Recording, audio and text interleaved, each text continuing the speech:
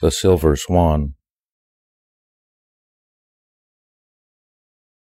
The silver swan, who, living, had no note, When death approached, unlocked her silent throat, Leaning her breast against the reedy shore, Thus sung her first and last, and sung no more: "Farewell, all joys!